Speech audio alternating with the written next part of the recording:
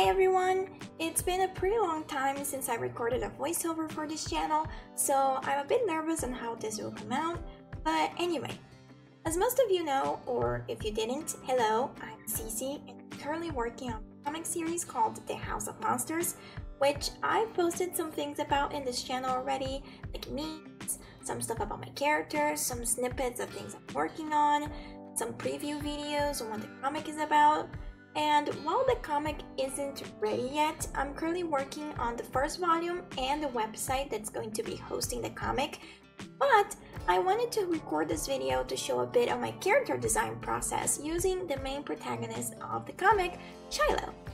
I've altered Shiloh's design a lot throughout the different versions of the comic, which you can probably find on my Tumblr if you scroll hard enough. The link is on my profile. But this is the final design that I inevitably altered a little bit when I started the comic by making it a little bit simpler, but you can see here that for the initial concept, I gathered a couple of expression references from panels I've already done uh, for the comic, and I started to lay down some of his characteristics, if he has sharper angles, how his features are drawn, etc tried to explore a lot of his expressions, body language, what kind of vibe and the atmosphere he exudes as a character, and for him, I feel that his looks can be quite deceiving. I've heard people talk about how he looks like your generic happy-go-lucky aesthetic, but actually wait, I'm depressed, which is the funniest misconception you can make about him because I know I love the smiley face, bright yellow aesthetic, my point was not to make it a contrast to a depressed or gloomy character, but actually someone who struggles a lot with anger, impulsivity. Impulsivity? Yeah, impulsivity, and masking instead. Here, things are a bit cluttered and messy, but I didn't bother with the layout as much as I did with trying to lay down everything I wanted for this particular page, which I think if you're going to make a project that is long term, you need to be able to naturally draw draw your character without going too far off of what they're supposed to represent. Uh, I say it's more about who they are as a person than simply be consistent with their design, because design and consistency alone don't make a character. Who is your character supposed to be? What kind of vibe they give off? Who are they as a person? What's their moral alignment? What kind of things are they willing to do to achieve their goals? What's their personality like?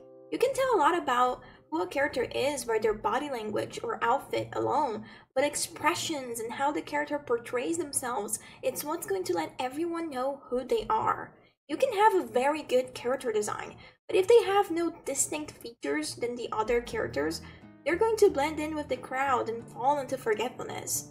Now, granted, I'm not a professional, I don't have a formal art degree, so take everything I say with a grain of salt.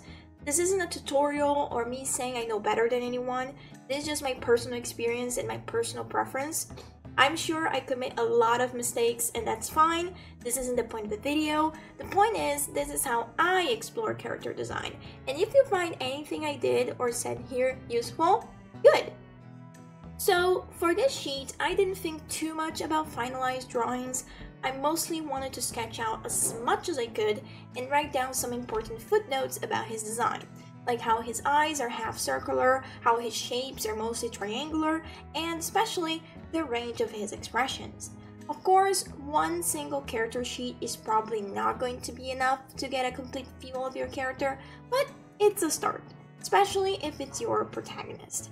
One thing that frustrates me is how often protagonists are fit into the box of they represent the reader's moral compass. Because I don't think that works as much as people think. I like when protagonists are allowed to exist in their own world without bothering to think, but what would the readers think? What if they hate this character? It's the protagonist, they need to be likable. When what makes a likable character isn't how good they are on a moral high ground, but how relatable they can be and how three dimensional they seem to be. Don't write a story strictly for your readers. Write it for you, first and foremost. What story do you want to tell? And does your character portray that? It's tough to get everything absolutely right in your first few tries. I've worked on a lot of other comics and projects before this one finally took flight, and I've had a lot of failures. A lot of good ideas went down the drain because I didn't know what to do with them, or how to deal with the characters or the setting they were in. And that's fine. Trial and error is the root of all things, and it's very rare that someone's first story or first project will become a masterpiece. Don't be scared to showcase what you're passionate about.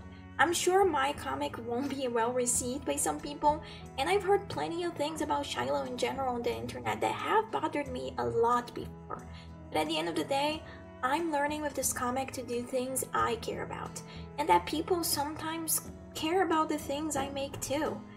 If you like my art and want to support my project, please consider checking out my Ko-fi and my Artistree link on my profile. Any donation or commission helps me fund my passions. This full artwork is published on my Tumblr if you're interested, and chapter 1 is also up on both my Ko-fi and Tumblr, so consider checking it out. I'm also working on a one shot prequel comic featuring one of the other main characters of the story that will be up in a PDF bundle on my Ko-fi as soon as I finish it. If you don't want to miss out, consider liking, subscribing, and leave a comment. Thank you so much for watching and see you next time, Crablings! Bye bye.